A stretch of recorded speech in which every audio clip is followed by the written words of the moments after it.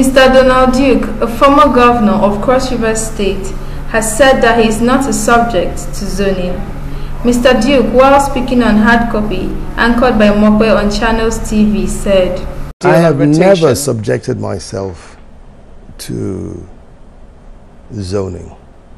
When I ran for governor, I was not afforded zoning. Everyone and everybody was able to run in Cross River. Besides, it's my constitutional right to run. You can't zone my rights. I think it's unconstitutional to zone. And besides, like I said to you, I was born Nigerian. I wasn't born an Easterner or a Westerner. I was born after independence. So my outlook is Nigerian. And I think we have a constitution. Whatever arrangement you make must be subject to the constitution. I'll tell you something, Mupe. When you're in dire straits medically, you don't care where the doctor comes from, right? I think we're in dire straits right now. We should seek the best amongst us. Mary Alawa, Cross River Watch TV.